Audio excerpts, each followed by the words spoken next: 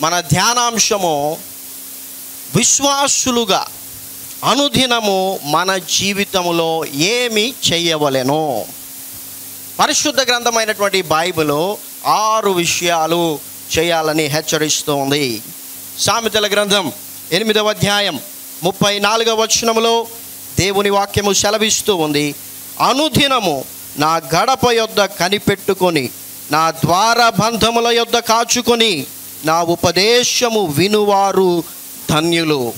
అనుదినము నా గడప యొద్ద అనగా దేవుని సన్నిధిలో దేవుని పాదముల చెంత దేవుని ఉపదేశమును వినేటువంటి వారు ధన్యులని దేవుని వాక్యము సెలవిస్తోంది.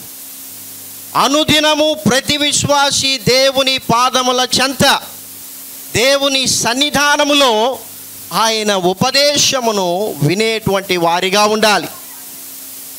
గమనించండి టీవీలో అని అక్కడ చెప్పబడలేదు. పుస్తకములలో అని అక్కడ రాయబడలేదు.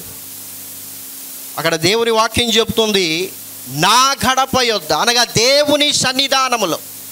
రెండవదిగా నా ద్వార బంధముల యొద్ద కాచుకొని అంటే ప్రతి విశ్వాసి వ్యక్తిగతముగా దేవుని సన్నిధిలో ఆయన ఉపదేశించున్నట్లుగా ఆయన ఉపదేశమును వినున్నట్లుగా ఈ దేవుని వాక్యాన్ని చదవాలని దేవుడు కోరుతూ ఉన్నాడు. నిద్రలేచిన వెంటనే ప్రతి విశ్వాసి చేయాల్సినటువంటి మొదటి పనిది దేవుని వాక్యాన్ని చదవాలి. దేవుని వాక్యాన్ని చదివినప్పుడు ఆ వాక్యములోని దేవుని స్వరాన్ని మనం వినాలని దేవుడు కోరుతూ ఉన్నాడు. గమనించండి మనం టీవీల్లో వర్తమానాలు వినకూడదని నేను చెప్పడం లేదు. లేకపోతే ఈ విధంగా కూడికకు వచ్చినప్పుడు దేవుడు తన బిడ్డలతో మాట్లాడేటువంటి విషయాలు మనం వినకూడదని కాదు. బెరయాలో ఉన్నటువంటి సంఘస్థులు పౌలు చేస్తున్నటువంటి బోధను వారు విన్నటువంటి వారే వింటున్నటువంటి వారే.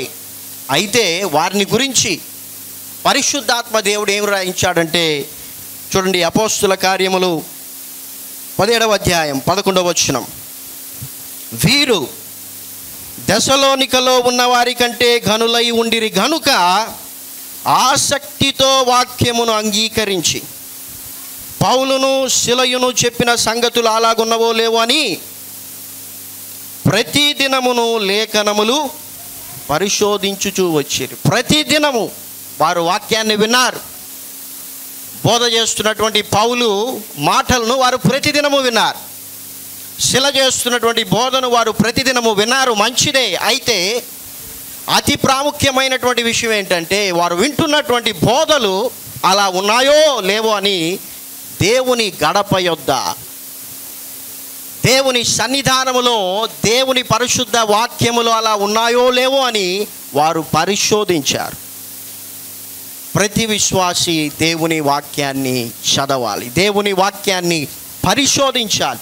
వింటున్నటువంటి బోధలు దేవుని వాక్యానుసారముగా ఉన్నాయా లేదా? సరే రెండవదిగా ప్రతి విశ్వాసి అనుదిన జీవితంలో మనము దేవుణ్ణి స్థుతించేటువంటి వారిగా ఉండాలని వాక్యము సెలవిస్తోంది. నూట నలభై ఐదవ కీర్తనలో రెండవ వచనంలో దేవుని వాక్యము సెలవిస్తోంది. అనుదినము నేను నిన్ను స్థుతించదను నిత్యము నీ నామమును స్థుతించదను అనుదినము నేను నిన్ను స్తుతించదను. ప్రతి విశ్వాసి దేవుణ్ణి అనుదినము స్థుతించాలి ప్రార్థించడమే కాదు దేవుణ్ణి అనుదినము స్థుతించాలి అసలు తావీదు భక్తుడు దేవుణ్ణి స్థుతించుటలో ఉన్నటువంటి గొప్ప దీవెన ఆశీర్వాదాలను ఆయన గుర్తించి నూట పంతొమ్మిదవ కీర్తన నూట అరవై నాలుగవ వచనంలో ఆయన దేవుణ్ణి ఏడు మార్లు ప్రతిదినము స్థుతిస్తూ ఉన్నట్లుగా సెలవిస్తూ ఉన్నాడు. చూడండి. నీ న్యాయ విధులను బట్టి దినమునకు ఏడు మారులు నేను నిన్ను స్థుతించుచున్నాను దేనిని బట్టి దేవుణ్ణి స్తుతించాలి? దేవుడు ఏమన్నా మేలు చేశాడా? అనుకున్నది జరిగిందా? లేకపోతే దేవుడు ఏం చేశాడని దేవుణ్ణి స్థుతించాలి అన్నటువంటి ప్రశ్న ఉండొచ్చు. అయితే బైబిల్ చెప్తోంది నీవు దేవుణ్ణి ఆయన చేసినటువంటి మేలులను బట్టి మాత్రమే కాదు స్థుతించాల్సింది అఫ్ కోర్స్ దావీదు నూట మూడవ కీర్తన మొదటి రెండు వచనాల్లో చెప్పాడు నా ప్రాణమా యహోవాను సన్నుతించు ఆయన చేసినటువంటి ఉపకారములలో దేనిని మరువకమని చెప్పాడు. అయితే ఆయన అనుభవం ఏంటంటే దేవుడు చేసినటువంటి కార్యాలను బట్టే ఆయన దేవుని స్థుతించలేదు ఆయన దేవుని వాక్యాన్ని బట్టి కూడా దేవుని స్థుతించాడు హలలుయా ఎంతమంది విశ్వాసులు దేవుని వాక్యాన్ని బట్టి దేవుణ్ణి స్తుతించే అనుభవం ఉంది? దేవుని న్యాయ విధులను బట్టి. అంటే ప్రభా నీవు ఇంత న్యాయము కలిగినటువంటి దేవుడవు. నీవు న్యాయమును జరిగించేటువంటి దేవుడవు. నీవు అన్యాయము జరిగించేటువంటి దేవుడవు కావు. నీవు సత్యవంతుడు ఆయన గుణలక్షణములను బట్టి ఆయన వ్యక్తిత్వమును బట్టి ఎంతమంది దేవుణ్ణి స్థుతించగలుగుతూ ఉన్నారు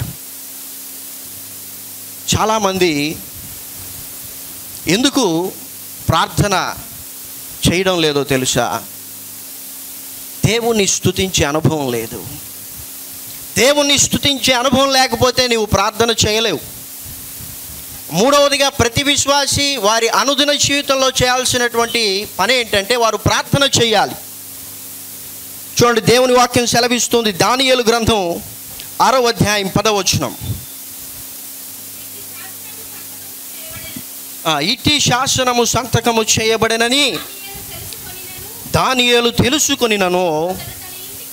అతడు తన ఇంటికి వెళ్ళి యథాప్రకారముగా అనుదినము ముమ్మారు మోకాలుని తన ఇంటి పై గది కిటికీలు ఎరుషలేము తట్టునకు తెరువబడి ఉండగా తన దేవునికి ప్రార్థన చేయుచు ఆయనను స్థుతించుచు వచ్చెను. ప్రార్థన స్థుతి రెండు కలిసి జరిగేటువంటివి. ప్రతిరోజు ప్రార్థించలేకపోవడానికి కారణం ఏంటంటే ప్రతిరోజు నీవు దేవుణ్ణి స్థుతించేటువంటి అనుభవం లేదు. పౌలు పిలిపి సంఘానికి కూడా రాస్తూ నాలుగవ అధ్యాయం ఆరో వచనంలో ఆయన అంటాడు మీ ప్రార్థనలు కృతజ్ఞతాపూర్వకముగా దేవునికి తెలియజేయండి. కృతజ్ఞతాపూర్వకముగా. ఊరికనే ప్రార్థించద్దండి. ఊరినే దేవునికి విన్నపాలు చేయొద్దండి. కృతజ్ఞతాపూర్వకముగా అంటే ఒకవైపు మీరు దేవుణ్ణి స్థుతిస్తూ ప్రార్థించండి ప్రార్థిస్తూ దేవుణ్ణి స్థుతించండి దానియలు ఇక్కడ రాజైనటువంటి దర్యావేషు ఒక శాసనాన్ని ఆయన పెట్టి దాని మీద సంతకం చేశాడు ముప్పై రోజుల వరకు. ఎవరు కూడా ఏ మనుష్యుని కానీ ఏ దేవుణ్ణి కానీ ఏ మనవి చేయకూడదని ఇట్టి శాసనము సంతకము చేయబడినదని దానియేలు ఎరిగి కూడా ఆయన గురించి దేవుని వాక్యం సెలవిస్తోంది.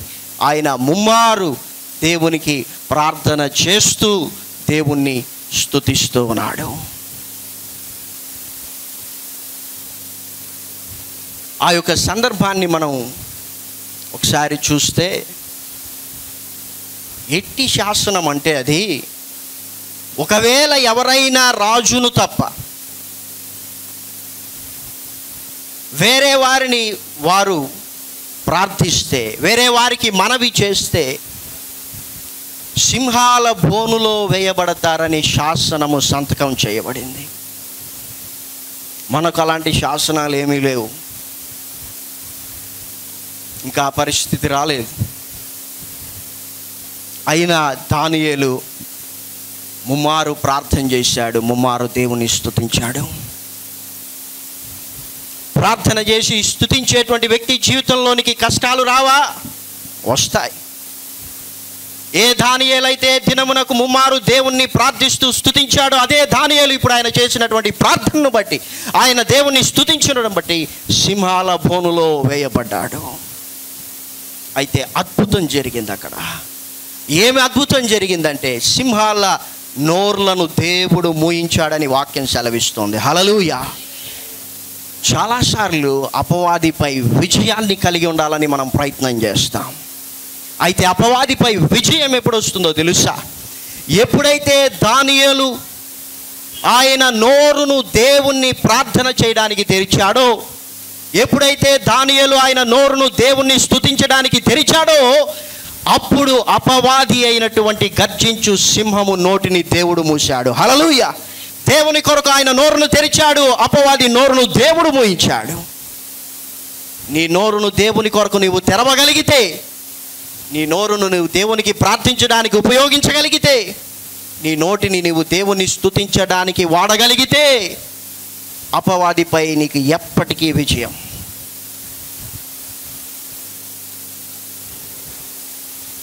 ఒకవేళ మీరు అనుకోవచ్చు ఆ యొక్క సింహాలు తినేటువంటివి కాదేమో సర్కస్లో నుంచి తెచ్చారేమో దేవుని వాక్యం సెలవిస్తుంది. ఎవరైతే దాని ఏలును ఆ సింహాల బోనులో వేయాలని ప్రయత్నించారు వారిని అదే సింహాల బోనులో వేసినప్పుడు ఎముకలను కూడా పొడి చేసి తినేశాయి. హలలుయ అంత ఆకలితో ఉన్నాయి అవి. సింహాలు సహజంగా ఎముకలు తినవు. మీరు డిస్కవరీ ఛానల్లో చూస్తే మాంసాన్ని మాత్రం తిని రక్తాన్ని దాగేసి ఎముకలను అంతా అక్కడే పెట్టి వెళ్ళిపోతాయి. అంత ఆకలిగా ఉన్నాయి. అయితే దానియలు నోరు తెరిచాడు దేవుని స్తుతించడానికి దేవుణ్ణి ప్రార్థించడానికి అపవాది యొక్క నోరును దేవుడు మూయించాడు. సరే నాలుగవదిగా ప్రతి విశ్వాసి మన అనుదిన జీవితంలో చేయాల్సినటువంటి విషయం. తొంభై ఆరవ కీర్తన రెండవ వచనం. యహోవా మీద పాడుడి ఆయన నామమును స్తుతించుడి. అనుదినము ఆయన రక్షణ సువార్తను ప్రకటించుడి. ప్రతి విశ్వాసి అనుదినము దేవుని రక్షణ సువార్తను ప్రకటించాలి. అది ఒక పాస్టర్కి సంబంధించినటువంటిది కాదు. ఒక ఎవాంజలిస్ట్కి మాత్రమే సంబంధించినటువంటిది కాదు. ఎవరో స్టేజీల మీద ఎక్కి ప్రసంగాలు చేసేటువంటి వారికి మాత్రమే సంబంధించినటువంటిది కాదు. సువార్త పరిచర్య. యేసు నందు విశ్వాసం వచ్చినటువంటి ప్రతివారు ఆయన రక్షణ సువార్తను ప్రకటించేటువంటి వారిగా ఉండాలి.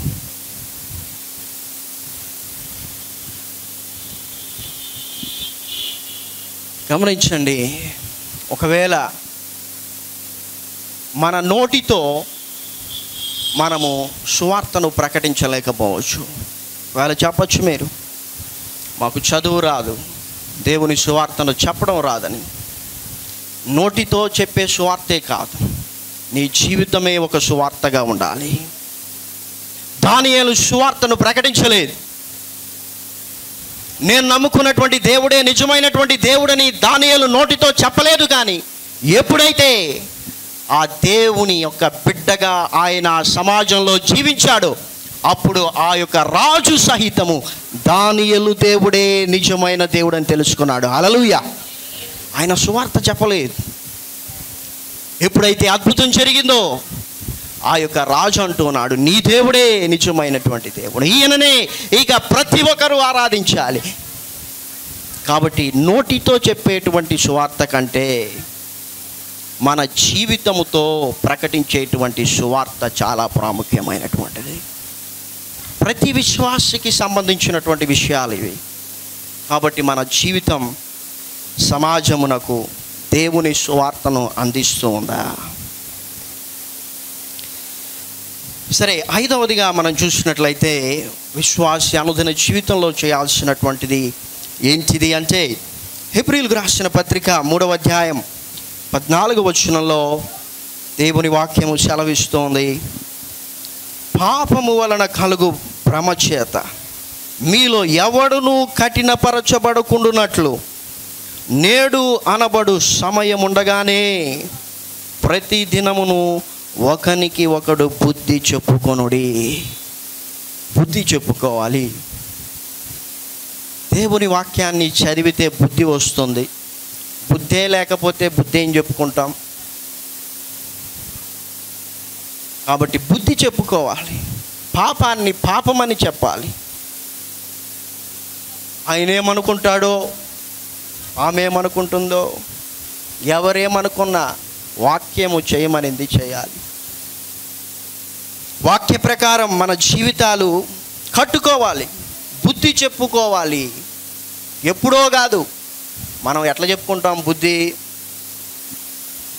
అన్నీ మనసులో పెట్టుకొని ఎప్పుడైనా సందర్భం వచ్చినప్పుడు అన్నీ చెప్పేస్తాం. అట్లా కాదు. ప్రతిరోజు చెప్పుకోవాలి బుద్ధి. ప్రతిరోజు. కుటుంబ ప్రార్థన చేయాలి చేసినప్పుడు ఒకసారి అన్నీ కూడా డిస్కస్ చేసుకోవాలి. ఎవరు ఎక్కడ పొరపాటు చేస్తున్నారు? పలాన్ దగ్గర భార్య ఇదిగో నీవి పొరపాటు. ఇదిగో భర్త గారు పలాన్ దగ్గర మీరు వాక్యాన్ని అధిగమిస్తున్నారు. పిల్లలారా ఇదిగో ఈ విషయంలో జాగ్రత్త. ఎప్పుడో కాదు ప్రతిదినం బుద్ధి చెప్పుకోవాలి. సరే చివరిగా దేవుని వాక్యం సెలవిస్తోంది. లుకాసు వార్త తొమ్మిదవ అధ్యాయం ఇరవై మూడవ వచనంలో ప్రతి విశ్వాసి ఆరవదిగా చేయాల్సినటువంటి పని. మరియు ఆయన అందరితో ఇట్లా నేను ఎవడైనను నన్ను వెంబడింపగోరిన ఎడల తన్ను తాను ఉపేక్షించుకొని ప్రతి దినము తన శిలువను ఎత్తుకొని నన్ను వెంబడింపవలెను యేసు ప్రభును వెంబడించాలా అనుకునేటువంటి ప్రతి వ్యక్తి తన్ను తాను ఉపేక్షించుకోవాలి. తర్వాత శిలువను ఎత్తుకొని వెంబడించాలి. ఉపేక్షించుకొనడం అంటే ఏంటిదంటే యేసు ప్రభువుల వారు ఇక శిలువ మరణము పొందుటకు ముందు గెస్సమనే తోటలో ప్రార్థన చేశాడు. తండ్రి నా ఇష్టము కాదు నీ చిత్తము నెరవేర్చబడాలి. హలలుయ అది ఉపేక్షించుకోవడం అంటే. ప్రతి విశ్వాసి ప్రతిరోజు ప్రభువ నా ఇష్టం కాదు నాయన నీ చిత్తము నెరవేర్చబడాలి అని ఉపేక్షించుకోగలిగితే సిలువను ఎత్తుకోవడానికి వీలవుతుంది. ఉపేక్షించుకోకుండానే సిలువను ఎత్తుకోవాలని కొంతమంది ప్రయత్నించేవాళ్ళు. ఇంకా కొంతమంది ఎలాంటి వారంటే ఉపేక్షించుకోరు సిలువను ఎత్తుకోరు కానీ యేసును వెంబడించాలనుకుంటారు. అది వీలు కాదు. అలాంటి వారి వల్లే చాలా సమస్యలు. వాక్యము పూర్తిగా తెలీదు. వెంబడించాలి కదా ఎట్లయినా వెంబడించచ్చు అంటారు ఏమీ విగ్రహారాధన చేస్తే తప్పే ఉంది దేవుడు క్షమించడా? క్షమిస్తాడు దేవుడు. అయితే అలా దేవుడు నిన్ను ఆయన్ను వెంబడించాలని కోరుకోవడం లేదు. ఉపేక్షించుకోవాలి సిలువను ఎత్తుకోవాలి వెంబడించాలి. ఉపేక్షించుకోవాలి ప్రతిరోజు. ప్రభా నన్ను నేను తగ్గించుకుంటున్నాను ఆయన నా చిత్తం కాదు. ఒక మానవునిగా ఈ శిలువ మరణం పొందడం నాకు చాలా భయంకరమైనదిగానే అనిపిస్తోంది. అయ్యో ఈ శిలువ మరణాన్ని నేను పొందాలంటే నా వల్ల కావడం లేదు మానవునిగా. అయితే నా చిత్తం కాదు నా ఇష్టం కాదు నీ చిత్తము నెరవేర్చబడాలి. ప్రభా ఈ సమాజంలో ఒక క్రైస్తవునిగా నిజమైన క్రైస్తవునిగా దేవుని వాక్యాన్ని అనుసరించే క్రైస్తవునిగా జీవించడం వీలు కావడం లేదు. రాజీ పడాలి మోసం చేయాలి లంచాలు ఇవ్వాలి అది చేయాలి ఇది చేయాలి ప్రభా. కానీ నీవు సహాయం చేయి. మానవునిగా అసాధ్యమైనటువంటిదే కానీ నా చిత్తం కాదు నా ఇష్టం కాదు.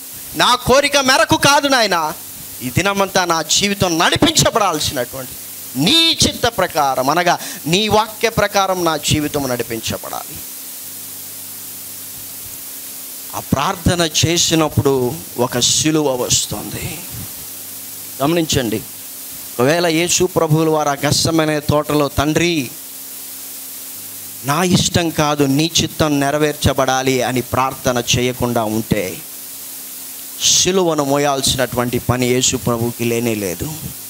సిలువ ఎప్పుడు వచ్చిందంటే ఎప్పుడైతే ఆయన తన్ను తాను ఉపేక్షించుకున్నాడో అప్పుడు సిలువ వచ్చింది. కాబట్టి మన జీవితంలో సిలువను ఎత్తుకొని యేసును వెంబడించాలంటే మనల్ని మనం ఉపేక్షించుకోవాలి.